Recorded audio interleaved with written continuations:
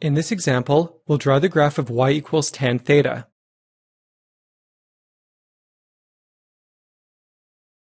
The unit circle grid that we use to graph sine theta and cosine theta does not work well for tan theta.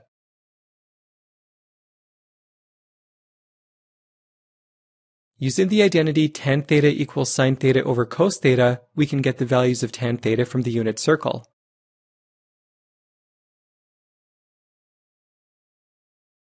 The exact values of tan theta include 0, positive or negative root 3 over 3, positive or negative 1, positive or negative root 3, and undefined. Reconstruct the unit circle grid, but change the y-axis grid lines so they match the tan values.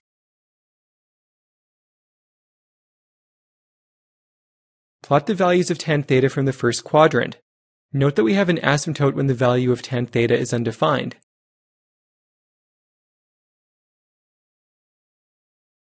Plot the values of tan theta from the second quadrant.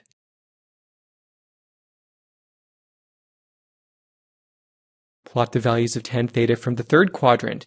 We have another asymptote since tan theta is undefined.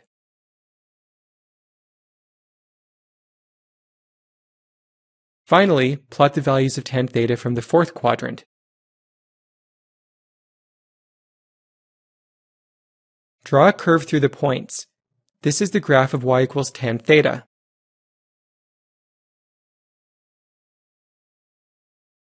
We can extend the graph to negative angles if we go around the unit circle clockwise.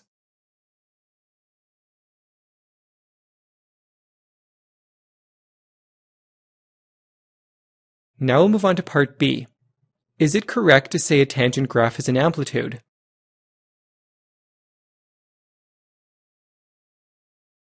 It is incorrect to say the graph of y equals tan theta has an amplitude, since the graph has no top or bottom.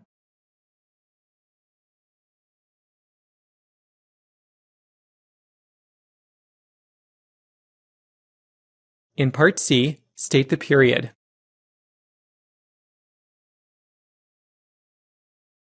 A tangent graph can be thought of as multiple copies of the curve shown.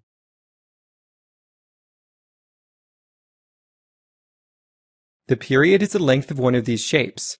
Inspecting the graph, we can see that the period of the tan graph is pi.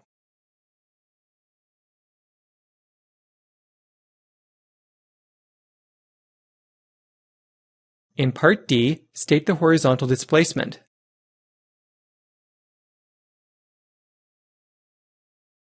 The phase shift is the distance a trigonometric graph has been moved left or right.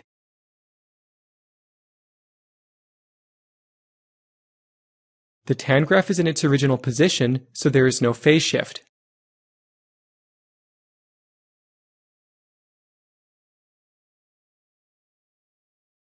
In part E, state the vertical displacement.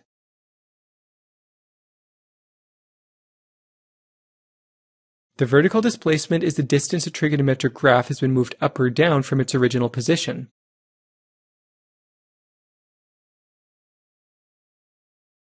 The midline of the graph is along the theta axis, so there is no vertical displacement.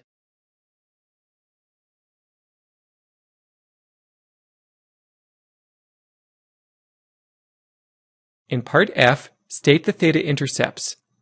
Write your answer using a general form expression.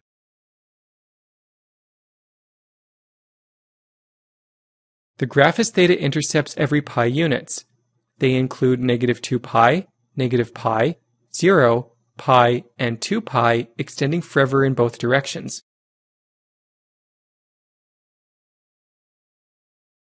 We can write this in general form as theta equals positive or negative n pi, where n belongs to the set of whole numbers.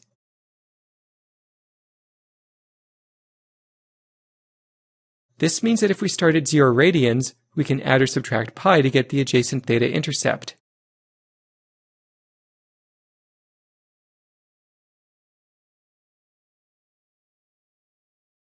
In part G, state the y-intercept.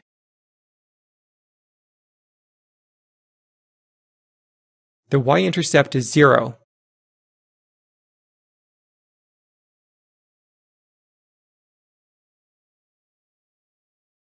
In part H, State the domain and range.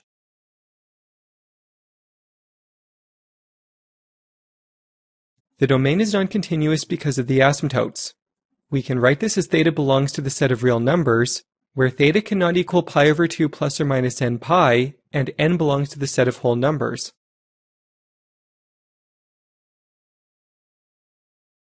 The range is y belongs to the set of real numbers.